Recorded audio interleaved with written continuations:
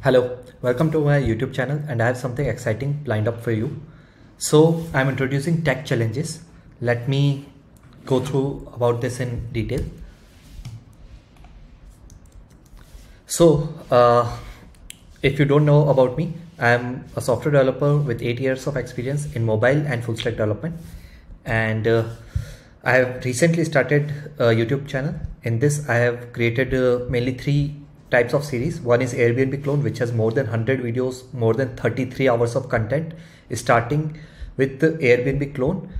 And in this, I'm using Ruby on Rails from scratch and also Hotwire. So that's one product that I'm working on right now, and it will go on for a really long time. Uh, second product was Aura Notes. It was a three to four hour video eh, for my Hindi, Hindi speaking audience. And finally, I'm currently working on React Challenge, which is like per day one react related challenge. And uh, i have ruby related rails related as well as android related a lot of videos planned up already.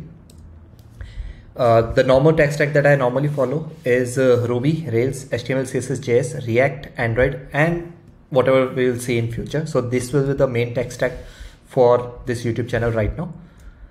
Now what is this challenge series? So basically i'll be posting monthly challenges to my community members now, those challenges will be something really open-ended. Like I won't specify a fixed tag. At least I will try to do that. That you can, for example, I mention any task. You can do it in React. You can do it in HTML, CSS, JS, or you can do it in Ruby on Rails, and all are valid submissions, even in Android. Okay, so that's first criteria. That tag is not the mo most important thing in that.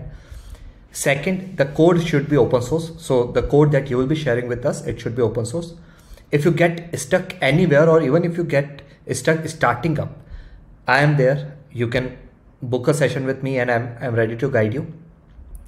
Obviously you will be learning from the community and with the community because you're you will be sharing your code so that others can see it and at the same time others will be creating code so you can check that out also. So basically a collaborative learning and it will help you excel in your career and overall it's it's good for newbie uh, college students, junior developers, as well as uh, experienced developers. Experienced developers can especially help in guiding the newcomers. So what can you do? Leave a comment if you're interested in this type of series. Uh, it will be a monthly challenge.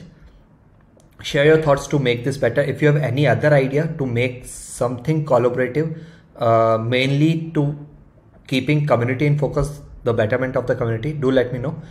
And if this works for you, do share this video with your college mates, with your teammates, uh, so that even they can know about this and start acting up with this. The long term plan is that if you keep, keep on creating one product every month, by end of the year, you will have 12 projects. Okay.